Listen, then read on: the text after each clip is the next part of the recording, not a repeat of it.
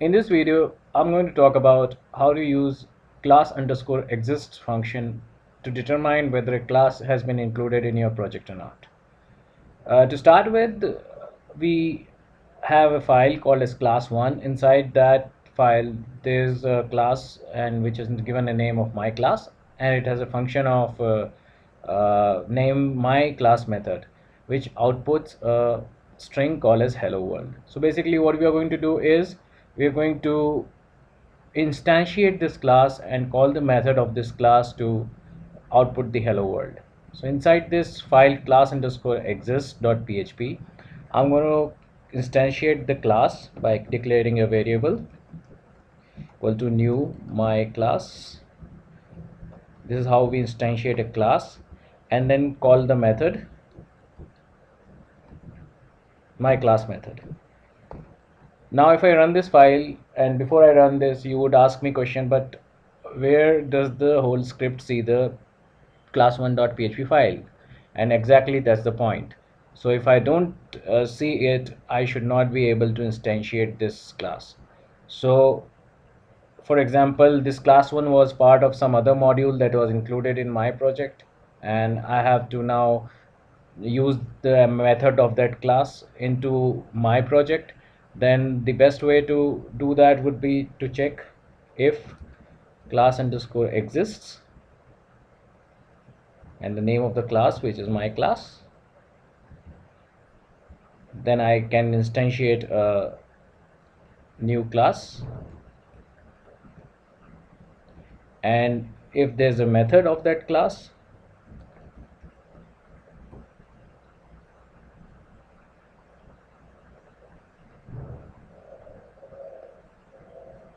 of my class. And the method name is my class method. Then I would be able to call this. So now now if I include uh, my file into this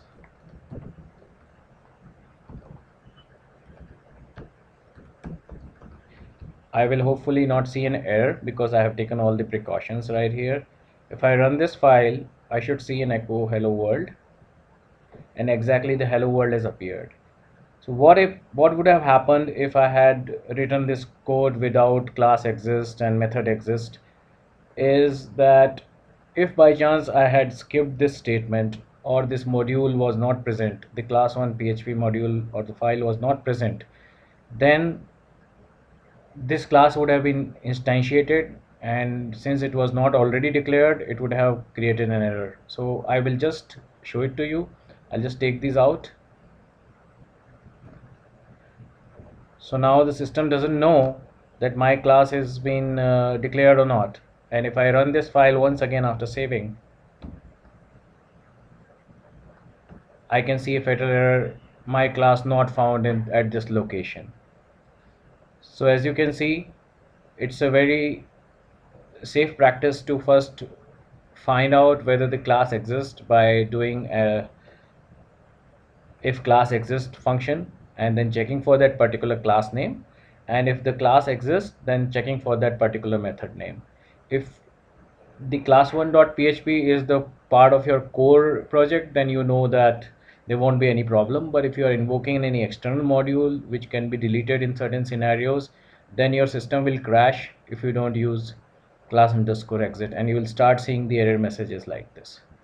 So i hope i make it very clear as to how to use class underscore exists and method underscore exists in a basic php scenario. Thanks for watching